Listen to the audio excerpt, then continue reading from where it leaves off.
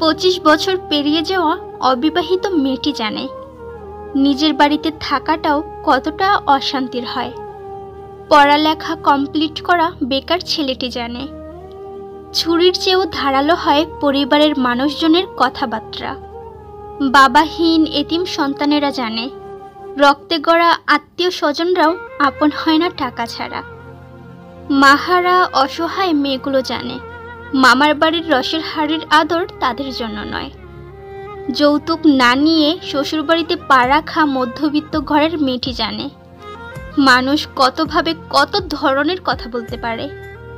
চাকরিহীন বেকার ছেলেটি জানে, টাকার বাইরে ভালোবাসার আলাদা কোনো মূল্য কিংবা গুরুত্ব হয় না। কালো মেয়েটি জানে মুখে মুখে গুণের কথা বলে বেড়ালেও মনে মনে সবাই খুঁজে রূপের বাহার। খাটো হয়ে পৃথিবীতে আসা ছেলেটি জানায়, তার সব যোগ্যতা ফিকে হয়ে যায় কেবল তার উচ্চতার সামনে এসে।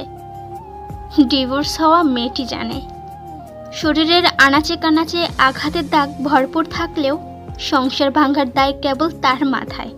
শুধু বিবাহিত নারীরা নয়, বরং বহু বিবাহিত পুরুষরা বোঝে, বউয়ের জ্বালা কতটা তীব্র হয়।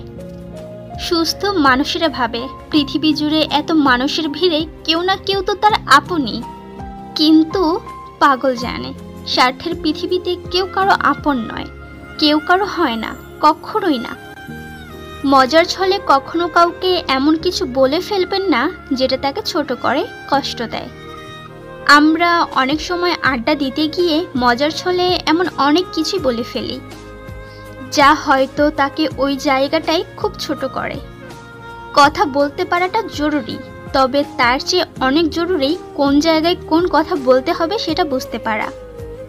খেয়াল রাখবেন, আপনার সামান্য একটা কথা যেন অন্যের কষ্টের কারণ না হয়। জানেন তো, কথার আঘাতটা মানুষকে সবচেয়ে বেশি কষ্ট দেয়? অপমানিত করে? শব্দের যত্ন নিন। আপনার কথা যেন অন্যকে কষ্ট না দেয় বরং তাকে যেন স্বস্তি দেয়।